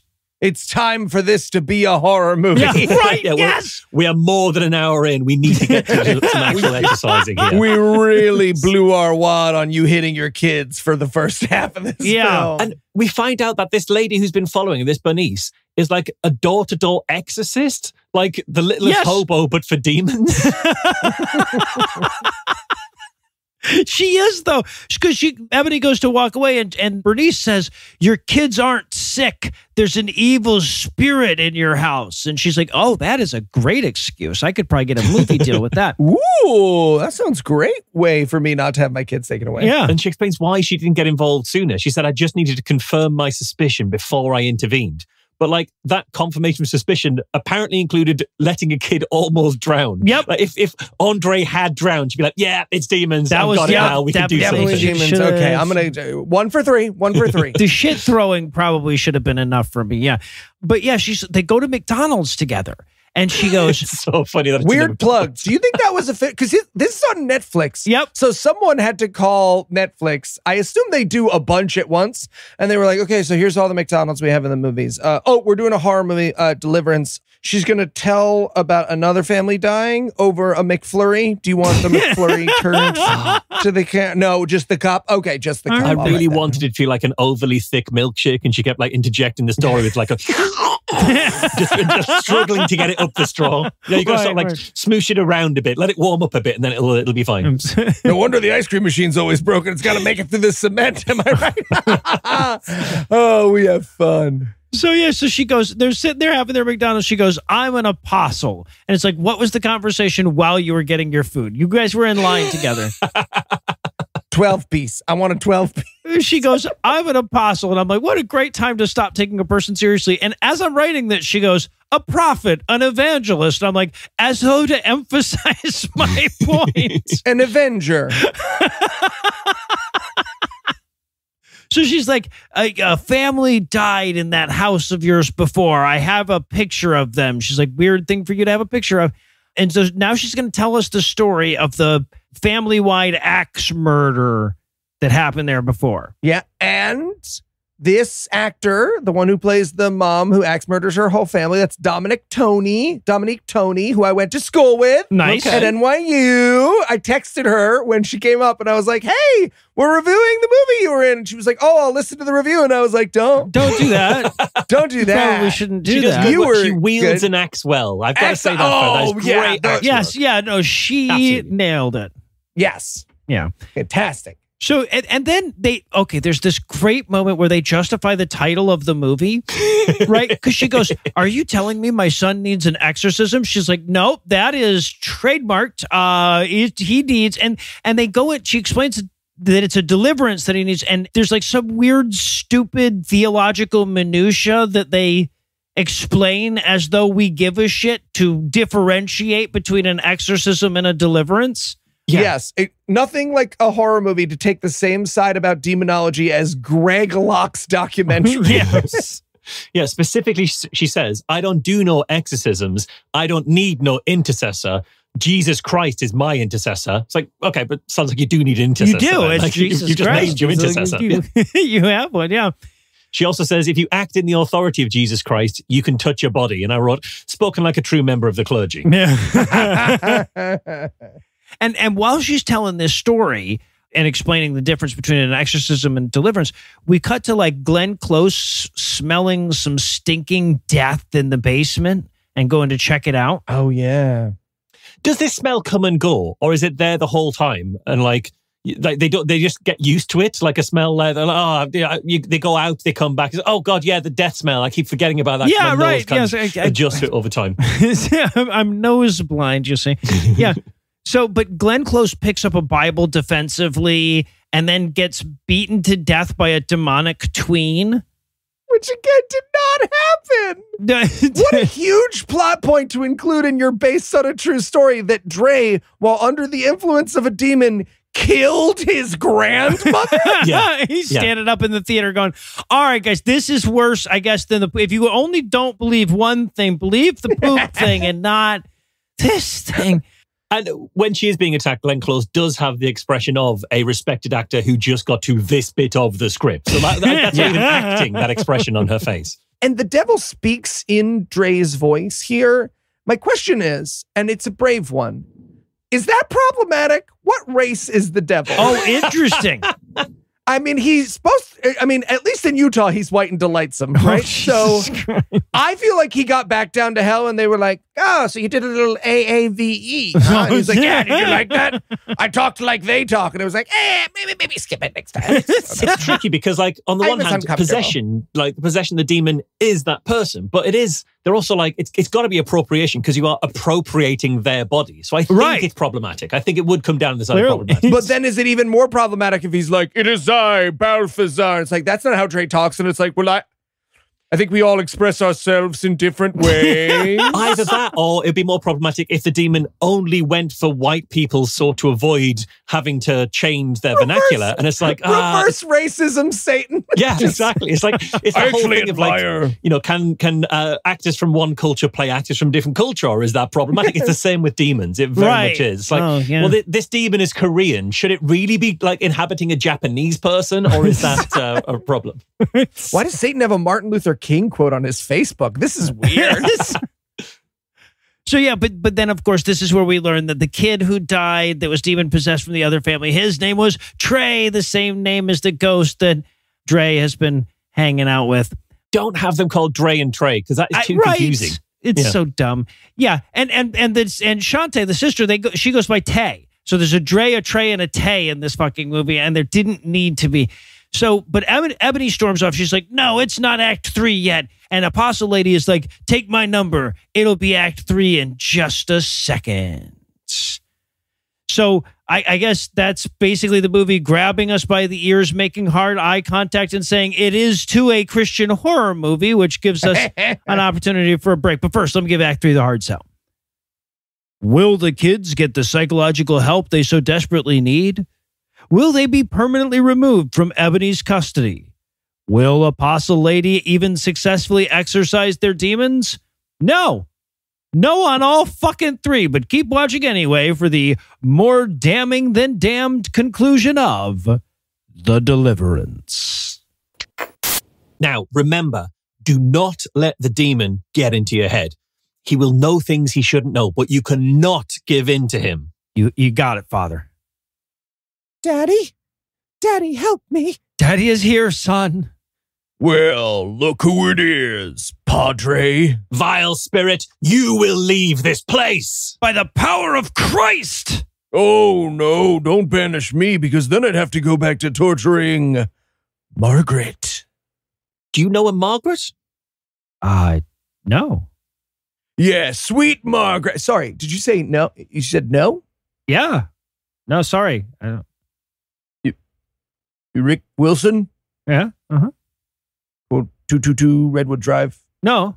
No, I live I live in Fleetwood, what Redwood Drive. Oh, fuck. The Lord is my shepherd. I Okay, shall can, not just- can you give me a second? Can you? gi- I'm obviously in the middle of something. oh, sorry. Yeah, sorry. I'm I'm sorry, wait, did did you look up the wrong person? no, I'm a demon, and I have demon knowledge that's gonna scorch your soul. Oh, you're gonna oh go ahead. Scorch my soul then. I know that you jerk off to porn. Well, dude, everybody jerks off to porn. yeah, it's true. Yeah. Uh, okay, but if I wasn't, if I hadn't looked you up, how would I know that the porn you like is big titties? Seriously. Lesbian stuff. I meant lesbian Okay, stuff. you're uh, you're obviously just making shit up. Do you want to do you want to like leave and come back or no, uh, because then I'm exercised. That's the whole point. That's kind of the whole point. Yeah. Yeah. Look, I committed. Okay, let me level with you guys. I committed to a skull in the woods like 40 years ago, and it, nobody has been there. And then this week they just started work there. There's like a whole logging crew, and I, I'm just I'm stretched right now. Oh, I'm I'm, I, having a am sorry. I'm sorry. Am I throwing off your work life balance? I'm just saying, give me like 45 minutes to get on ChatGPT, and I'm gonna do such a good roast for you. I really gonna do- wow. No, no, I, I think we'll just leave, actually. Yeah. This is seriously weak. No, don't. Weak. You're probably worried about the election, huh? Those polls are looking tight. They're gone. Can I have my body back? Give me a minute.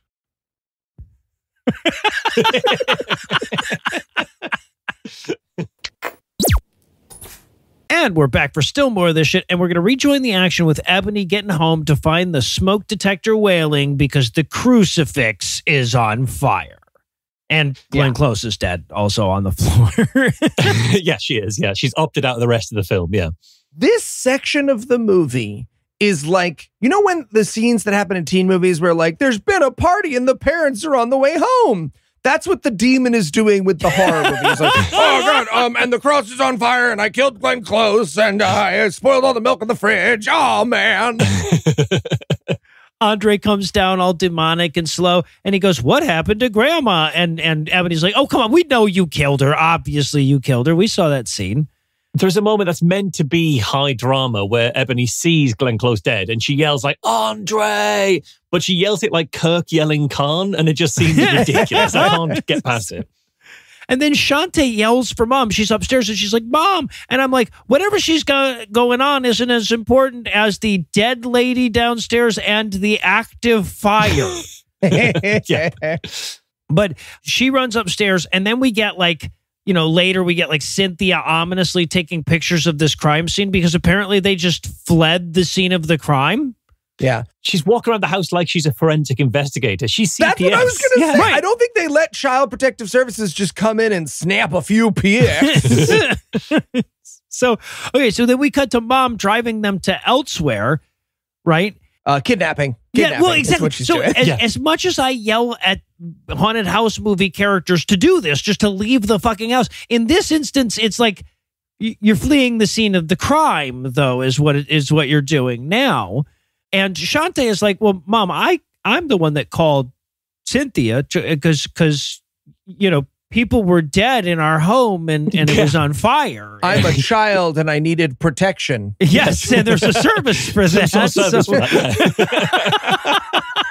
At which point, Ebony gives this absolutely batshit insane, it's hard being a mom monologue, to which even the demon is like, I'm sorry, was that supposed to like bring me to your side? That's- you are the worst. Yeah, she says she says you think it's easy doing what I do, but what you do is endangering your children. You Like, drink and hit your kids. It seems pretty easy.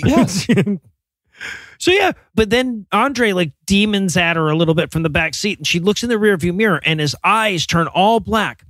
So she pulls the car over and runs away like the fucking lawyer in Jurassic Park. Just leaves her kids behind with a demon in the car. to run into a bar. She runs into a bar. The alcoholic, abusive mother leaves her kids in the car, having fled the scene of a crime, and runs into a bar and is meant to be the sympathetic character here. Oh, Yeah. Now, to be clear, this is from the real story. The mom did run in psychosis into a bar and had obviously been abusing her kids that she had kidnapped. So they've now rewritten this as no, it was Andre's demon. Andre's Yep. demon is carbon monoxide poisoning, oh. apparently. So yeah, so she runs into this bar and she yells at all the people, as, "Hey, somebody come and kick my demon son's ass for me!" And a bunch of people are like, "Yeah, no, I can do that." Oh, I- fuck yeah, absolutely. Weird number of people take her up on that, but then they get they check the kids and the kids are just like clearly abused. So now she's in like a jail or something, right. and there's a social worker giving her like they go through this intake form with her. But it's weird because the intake form, it's a lot about like what's been happening with the kids and stuff, but none of the authorities seem that interested in the dead mum and the burning house. That doesn't Nope. seem to be a thing that anybody cares about. No, didn't come up. there's a lot of like is your house haunted questions in there right Yeah. so a lot of weird like has there been weird banging and flies you know Right. Well, because the movie wants us to be like, because again, this woman was actually forcibly committed, right, for a short amount of time because she was having a psychotic episode in public, right? And so, what this movie is trying to rewrite that as is look, if you have a demon in your house, a lot of those questions make it seem like you have psychosis, but Right. actually, yes you were hearing noises and strange voices. yeah yeah uh-huh so yeah so but then we get uh, cynthia showing up to assure her that hey you know like they're taking your kids away but there's still a lot of movie to go for you at this point Yeah, she says it's not forever. And I wrote in my notes, I hope it's forever. I am rooting for forever. well i, I was rooting for forever and then she says they're going into church foster care and i'm like oh well maybe Ah, Oh, lateral? Is that, yeah, is not- that a lateral move? better Yeah, I, I had two lines of dialogue back to back was it's the best thing. I wrote it literally is. And then it says they're sending them to a church foster care. I was like, okay, so it's not the best thing. It's not the best thing. it's the best. It is a thing. probably better, but not necessarily. Yeah. So then we get this scene where Ebony's going to a church, and I thought that that was like her getting her life together, right? It was going to be that scene or whatever. But no, she's going to see Apostle Bernice because she's like, yeah, no, I, it's it's definitely not that I'm psychotic. It's that there's a demon in my kid. I need an excuse, sir. There, take my kid. There's such a weird thing here as well. I had no idea why, but they shoot this this church with a fisheye lens. If you look to the side, all of the the walls have like a curvature to them because the lens is fisheye. So I don't know if they're trying to make this room look bigger than it actually is. It's such a weird choice. Right, I, I- it- missed I- I was so distracted by it. So she starts talking to Bernice, and th- there's a weird moment where she like wants to know the demon's backstory. Yeah. right? She says, This demon's got my son. She's like, Where's it from? And I'm like, Well, it's obviously from fucking hell. It's a demon, you know, it's from it's from New Jersey. Jesus Christ. I'm from Bayonne originally. you know, thank you. Nobody ever asked. Yeah, that, no, but where where are you really from, Demon? Where are you really from? Oh, Wow, I that's hate so the- racist. wow. Wow. All right, why don't you go march with Tommy Robinson? Go beat up some of Marcia's neighbors. But this is where Bernice explains that all three of the kids are possessed by the one demon, which is uh, like a three for one deal when it comes to exorcisms. Actually, you're getting it pretty cheap. But in order for her to fight back, in order for Ebony to get her kids back from the demon, she has to be sufficiently Christian. Right? Not a good person. She's not like, you know, well, you have to not be abusive. You have to not be an alcoholic. No, you just have to be the correct religion a lot. Right. You got to be all the way Christian if you want to fight this demon. Yeah. Mhm. We also get some of her backstory as to why she isn't Christian, why she doesn't believe in anything. And it is just, again, it's like she was, it was a traumatic story, a traumatic event in childhood, and she asked God for help, and God didn't do anything. And that's the reason she's atheist, because she's angry with God. Yep. Christian movie tick. Yeah, and she she tells this to Apostle Lady. She's like, "Yeah, no, my mom let someone sexually assault me as a child," and she's like, "You should not tell that story." She well, she immediately goes to, and you should ask his forgiveness now for letting Yes. that happen to you. It was like, What? You should what now though? And it's so weird when we see the flashback of her, like of, of, of someone coming down the stairs to do that. It is exactly the same set of stairs that are in her own basement. And you'd, you'd think she'd avoid a house with a spooky trauma basement when you go house hunting at that point. If you do have like Honestly. spooky, spooky trauma house, stuff going on in basements, just don't do that. Yeah. So so yeah, so she tells the her tragic backstory and then prays, you know, asks God to forgive her for all of the trauma she went through. And then we cut to Cynthia, the child protective services lady, checking on Andre. So he's in the hospital now because he's, you know, full on demon possessed. Yeah. Hmm. So they, they've got him like strapped down. She starts talking to him and he goes like, my mother is dead. God is dead. And everybody's like, yeah. So it's probably like, uh, we're thinking uh, maybe bulimia. I, I don't know. Just Ah, I just wanted him to carry on listing dead people. Like Einstein's dead. The guy who hosted Supermarket Sweep is dead. it's, honestly, it's like when I call home to speak to my mum. Basically, I'm just going to list. Yeah, exactly. Guess who's dead? God. You do. Yes, you, you, do. you met him back in he used to live in the church at the end of our street. you see him on a Sunday. No, no, you he do. was at your first communion. Yeah, his yeah. son used to do those magic tricks till he had that falling out with Mrs. Iscariot's son. Speaking of Mrs. Iscariot's son, you'll never guess what happened to him. and this is where uh, the kid walks backwards up the wall. Now, the actual story made a huge deal about this because the doctor saw it. And if I if I may borrow from Wikipedia here, the walking up the wall backwards incident failed to mention that the boy's grandmother was in fact holding his hand throughout, which allowed the boy to push himself against the wall and walk up it. Yeah. okay Oh, yeah. because that means, unlike what we see in the movie where he fucking spider climbs up the wall, at some point in the hospital, grandma was like, Do you want to walk on the wall a little bit? And he was like, That would be fun, grandma. And she's like, Yes. fucking Yeah. Okay. uppies. We're describing uppies as demonic possession now. Yeah, so th- this is where the movie takes its all the fucking way turn, right? Because up until this point, the movie's been kind of like the exorcism of Emily Rose was like, was it a demon or was it a mental illness? Well, mental illnesses hmm. exist, so we know the fucking answer. But up until this point, the movie had kind of done this. At this point, the kid squirts out of his restraints, right? He's strapped down, and then walks backwards up the wall like the third act of Inception, right?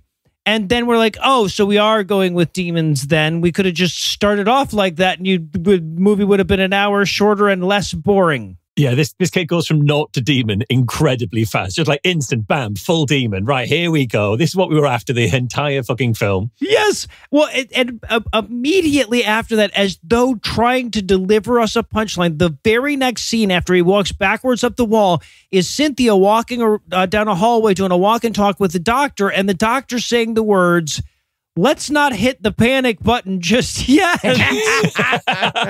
Why even have that button then? That's what the button's for. Yeah, like exactly. Like so, when when the kid starts climbing the wall, that's that's the end of the scene for us. She, did she just walk out of the room? Like, how did that scene Clearly, end yes. in reality?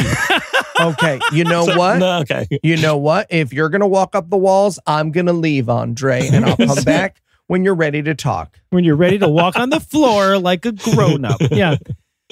So yeah, and then also at this point, mom is sneaking into the hospital to kidnap Andre, who has just been taken away from her by the state. Yeah, as the hero, as the hero Yep. here, she's doing that. Yep. Also, like she's she's disguised as a nurse. She's walking around saying hi to everybody. She's got like an ID badge hanging from her uh, uniform and stuff, but she's saying hi to everyone.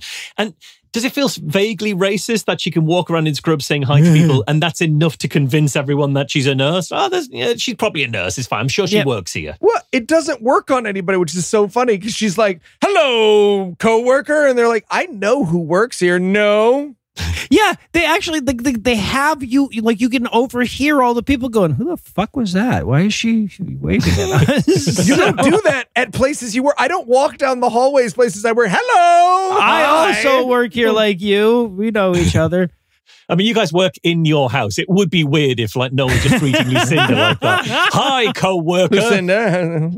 so, so yeah, but so she goes to kidnap the kid, and the doctor's going to go check on him because, of course, he's heard about the wall walking thing, and he goes. Hey, take me to the room that Andre Jackson is in. And the nurse at this point goes, It's room 509. I'm not going back in there. And it's like, Oh, well, then you would be, I would, I would think fired then because Mhm, there's a yes. person there that needs your help and that's your job. But no, instead we we cut to uh, Apostle Bernice helping it, Ebony kidnap Andre. Right, they drive off and take him back to the house that even this movie says is trying to kill him. Yes, take the demon kid back to the place he got demoned. Is this Yeah, plan here? Yeah. right. I guess you got to burn him in the mountain from where he was forged or whatever. And then so they get him back there. They strap him down. Apostle Bernice comes out with her very sticky noted Bible.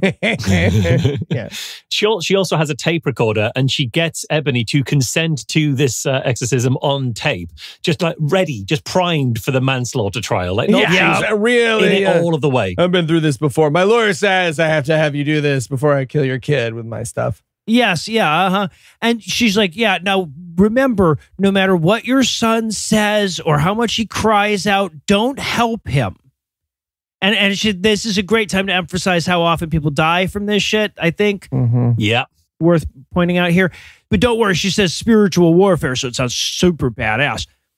And then we get our goddamn exorcism scene. So it starts with her like sprinkling holy water on him and him screaming.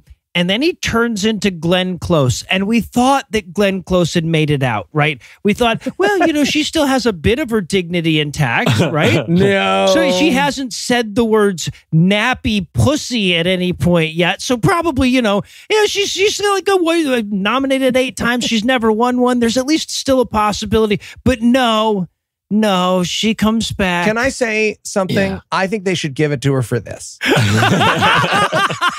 and her clip is the I can smell your nappy pussy part.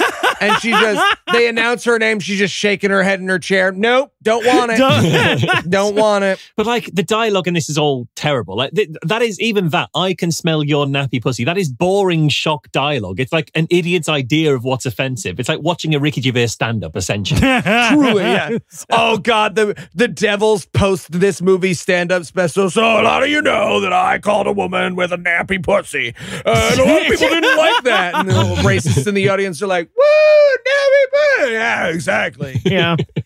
Dave Chappelle, everybody. Honestly, I feel like the Academy is watching this portion of the movie going like, see, that's why we never gave her one. They didn't understand at the time. They kept saying, oh, you should give one to Glenn Close. She's been nominated so many times. But this is what we knew she had this in her. We knew she'd do this eventually. Yep. had to. Yep.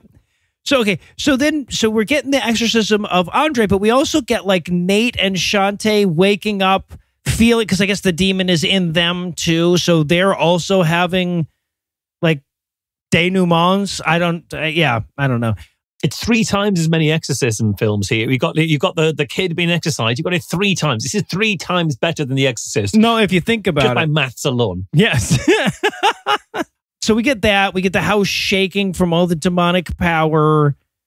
Brittany sends Ebony away. She's like, "You go upstairs for the rest of the movie," and she's like, "That doesn't sound right." She's like, "It's not. You'll be in the basement later with no Don't worry. explanation." Uh, the entire house is shaking, and so for safety, she sends her upstairs in yeah, the don't think shaking that's house. That is that's not safe. that's probably the right idea. get under a desk. Dig a hole and put some planks over right. it. Yeah. yeah.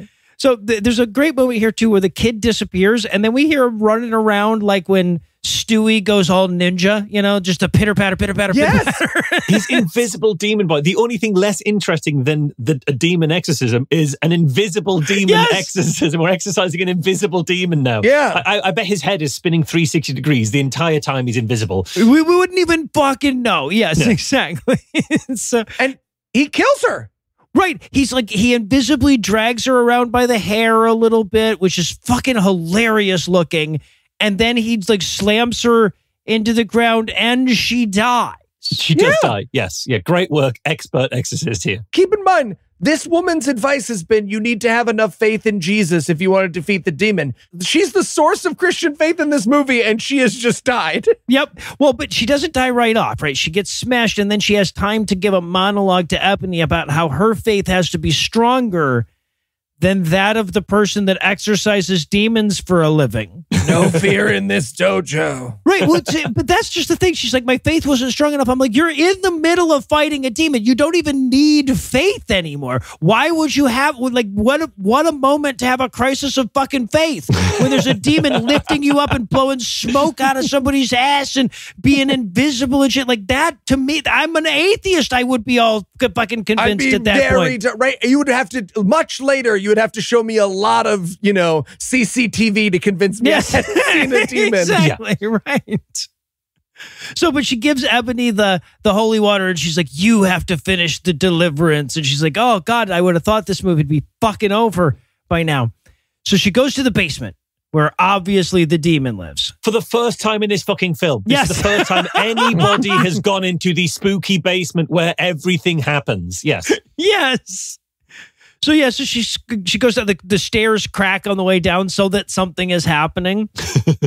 she doesn't turn on the light. She she just like carries a, a fucking flashlight. Now most movies would have the moment where she pulls the cord but nothing happens. This dumbass movie doesn't even have that. Right? Apparently she just didn't even think of it. And then so and Andre is is downstairs when she gets there, and he's like, "I'm not demon possessed. I'm just your son." And she's like, "Bullshit! I hit him anyway." And and so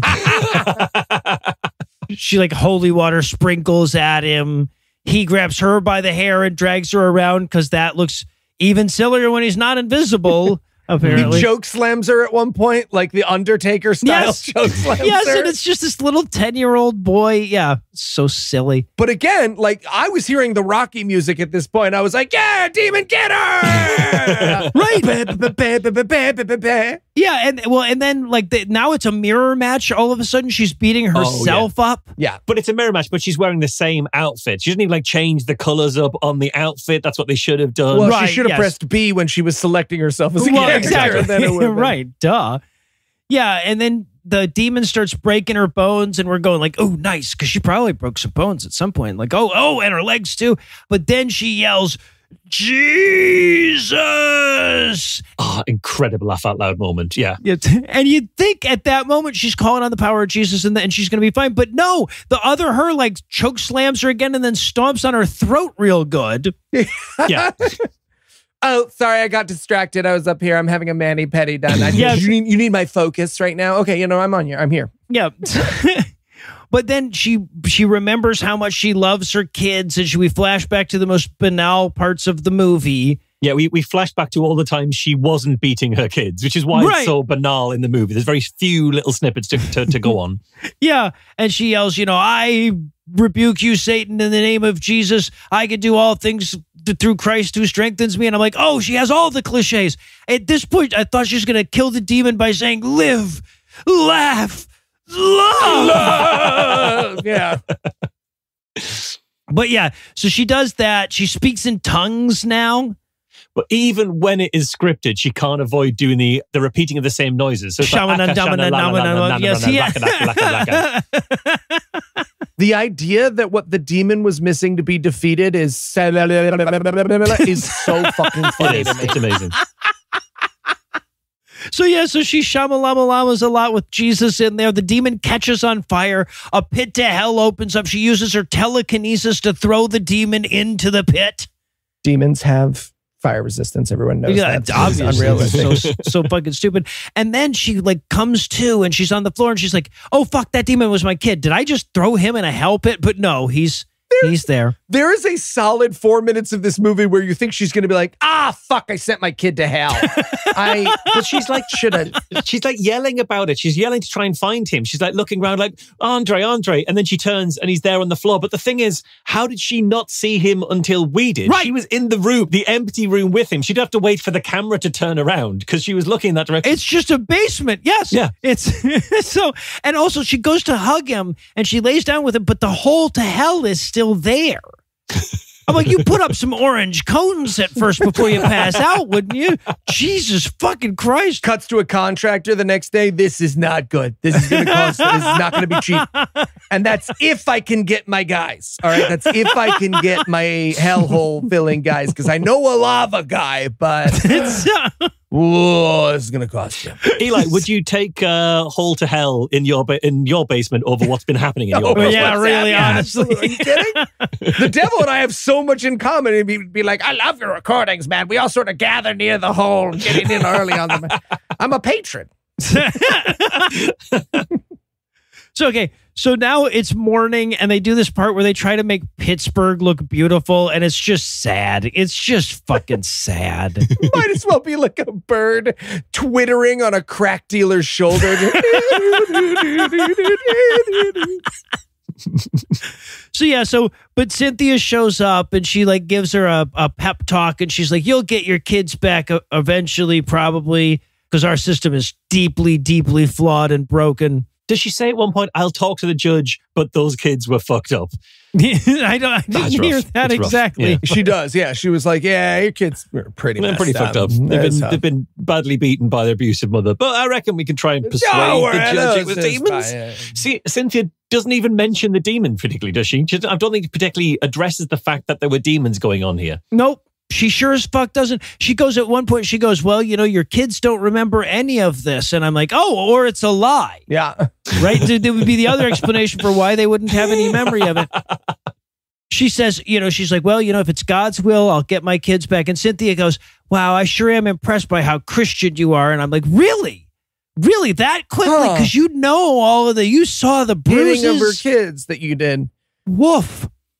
But Ebony's like, I can help you be more Christian. And she gives her a little cross necklace. Okay, and that is bribery of a public official, so you're never going to see your kids again at this point. and then the camera pans away from the neighborhood as though we're gonna like eventually end on a pop scare for part two or something, but but we don't. Yes, I wrote the music is reserved for the demon is still there pop scares, but no, it just goes to the credits. Yeah. Well, no, it goes to a title card that says six months later, Ebony got her kids back, and we're like, oh, well, I guess Oh, no happy ending. that is a sad ending. That is the pop scare. Yeah, that, Yeah. the Yeah, pop scare right. was Yes, the ominous honestly. music was accurate. there, Yeah. yeah, there you go. We found it. Yeah. Well, and then this is so fucking weird. After the title card, the movie's like, ooh, ooh, and another thing, right? Like it's getting the Occam Award. Yeah. And and it says just for you, Marsh. and and we cut to like Ebony driving her kids to Philadelphia, and they're like, "Why are we going to Philadelphia?" And she's like, "I talked to your dad. I think we're going to work things out after all." And I'm like, "Oh, were you having problems with the dad? I thought he was just in Iraq." Well, that was the problem is he wouldn't come back. from Yeah, the right. rock. Yes. Yeah. so, and then that scene is over, and the movie gets a different title card, a second go at that. And it tells us, like, you know, the real name of the lady was this, and then that house got demolished. And, and it's still kind of creepy even to this day. Strange things happen in Pittsburgh to this day. Yeah. Yeah, so our story was inspired by the life of this lady and presumably the lie she told. And then it, then it sort of shows the house. It's like, but there was a house. So, you know, that's proof. So at least That's part of her true story was house true. She did have a hmm? house. You're saying there's no such thing as houses? You sound ridiculous. All right, so I guess that's going to do it for our review of The Deliverance, but it's not going to do it for the episode just yet because we still do need to punish ourselves more. So, Eli, tell us what's on deck. well, Noah, our Halloween spectacular may be over, but something even scarier is on the horizon. That's right. It's election day Oh, it here in the be, United yeah. States. Yeah. So we'll be reminding folks just how spectacular their November could be with Dinesh D'Souza's documentary, 2000 Mules. Oh, for fuck's sake. And I, that was bound to happen eventually, I guess. Yeah. Yeah. All right, so with that to look forward to, we're going to bring episode 480 to a merciful close. Once again, a huge thanks to Marsh for all his help this week. Be sure to check the show notes for links to more stuff from him. And a perhaps even huger thanks to all the Patreon donors that help make the show go. If you'd like to count yourself among their ranks, you can make a per episode donation at patreon.com slash godawful and thereby earn early access to an ad-free version of every episode. You can also help a ton by leaving us a five-star review and by sharing the show on all your various social media platforms. And if you enjoyed this show, be sure to check out our sibling shows, The Scathing Atheist, Citation D&D Minus, and The Skeptic Guide available wherever podcasts live. If you have questions, comments, or cinematic suggestions, you can email godawfulmovies at gmail.com. Tim Robertson takes care of our social media. Our theme song was written and performed by Rise Lotnick of the Drafts on Mars. All other music was written and performed by our audio engineer Morgan Clark and was used with permission. Thanks again for giving us a chunk of your life this week. For Heath Enwright and Eli Bosnick, I'm Noah Lugeons. Promise to work hard to earn another chunk next week. Until then, we'll leave you with the Breakfast Club close. True to his word, the director of this movie destroyed whatever blackmail material he must have had on Glenn Close to get her to do this movie. The local police accepted it was a demon again as an excuse for Ebony having a second dead lady in her house way too quickly. Pittsburgh remains filled with demons to this day. Yeah. yeah.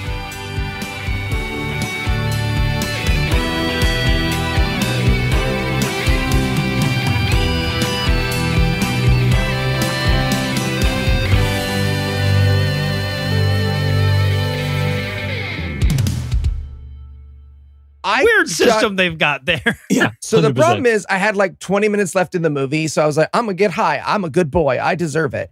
And then my I got stuck on the thought of why does God keep giving demons their magic? Because they're His powers. Right. Yes. He's the source. of the so powers. he's Mm. doing it. That's the problem with the omniscience and the omnipotence is that God is the one slamming kids against walls. If you Yep. really think That's about it, right? him. Yeah, PSENG is providing the power. The preceding podcast was a production of Puzzle in a Thunderstorm LLC, copyright 2024, all rights reserved.